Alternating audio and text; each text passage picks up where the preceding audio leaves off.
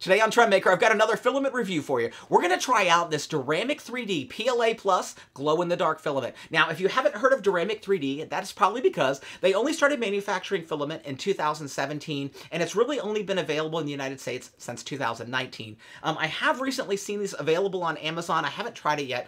Um, the company actually reached out to me to do this review. They sent me this roll, but I'm going to give you a 100% honest review of whether I think this filament is something you should consider for the future or something maybe you should pass on. Now we're going to go through a quick unboxing of this Duramic 3D glow-in-the-dark filament. Inside you can see we have the typical literature from the manufacturer and the spool itself, which is vacuum sealed with a little bit of desiccant inside. It's a really nice vacuum seal on this. It's one of the few spools I've opened recently where I can actually hear the air hissing as it's entering the packaging when pierced. The spool itself is rather thick and has a lot of nice little features to it. It has six of the safety stops to keep the roll from unspooling.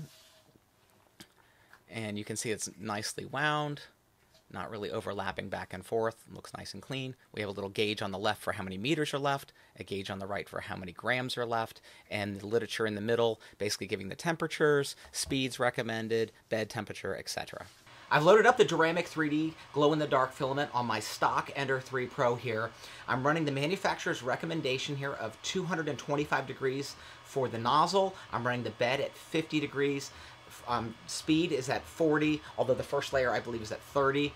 Um, I'm running at 0.24 millimeters resolution, and Overall, to start with, it seems to be printing perfectly smooth. I'm not noticing any issues here. Uh, stock settings for PLA is what I basically ran. The only difference is I raised my temperature up to about 225 to start. It did okay at 0.24 and some of the infill, which was going a little faster. It did seem I got a couple little pops. I tightened up the extruder tension just a couple turns and that seemed to, to remedy that. I did find that at 235 though, it did have a little nicer flow and I thought I was getting just a little bit uh, better um, look to the prints. That's just, you know for my printer. Uh, I overall I think it printed out really well. I did this um, little Roblox sign. My daughter's into Roblox. I did a Benchy, and this is just because if you know I like to print something that I've printed before with other filaments to compare, and I had zero issues. You can see the bow here. No, I've got my temperature. I got my fan right. I've got my little bridging there on the front. Looks great. The smokestack is perfectly great. The ironing on the deck looks great. So overall, you know, printed Benchy with no issues whatsoever. I did a Flexi Cat straight off. Everything flexed nicely. Everything was bendable. Everything worked well.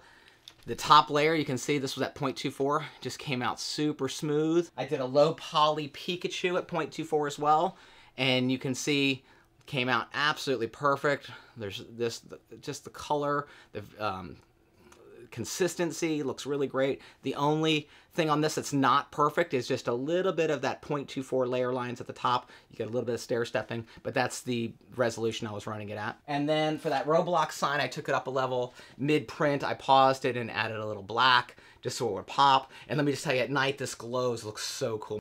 So overall, I'm really happy with this uh, Duramic 3D filament.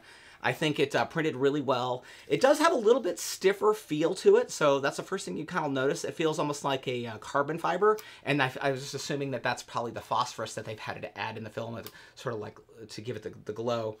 Uh, the intensity of the glow was pretty amazing. Uh, it was really bright. I'll show you. Can see in the, the, the images in the video that I took. Uh, the first hour, it just, whoa, it was really intense. It really looked like it had a light or an LED like highlighting it or glowing on it. So really intense for an hour. At every hour, I noticed about a 20-25% decrease in the luminancy. So at the second hour, after two hours, it was, you know, probably about 60%. Uh, so it was still bright.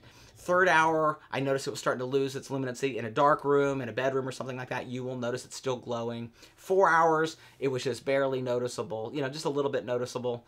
And then uh, about six hours to eight hours, it was pretty much gone. Now, I only charged this up for about an hour under one of my studio lights, so it did get a nice uh, blast of light for an hour. If you let it charge up longer, and that's what this sort of uh, phosphorus needs to do, you have to put it under a light, it sort of absorbs the energy, and then it'll give that luminancy. Um, so it does, you know, if you charge it up for three or four hours, you may get uh, more intense effects. That's pretty much going to wrap up this video on the Duramic 3D PLA Plus glow-in-the-dark filament. I think overall it's a really nice for a glow-in-the-dark filament. Done a super uh, job here. I am definitely going to try to get my hands on some more of their uh, traditional line of PLA and PETG, as well as some of their silk products. Um, I will have links in the description for all that down below if you're interested. Any uh, purchases you make through the links down below do add a little contribution to the channel and at no additional cost to you. If you have any questions regarding this filament or any other 3D printing question, do me a favor, just leave a comment down below below. I will try to get back to you within about 24 hours. If you haven't done so already, hit that like and subscribe down below. You know, totally blows my mind. It gets me super excited to produce this content for you. But until that next video, I'm out.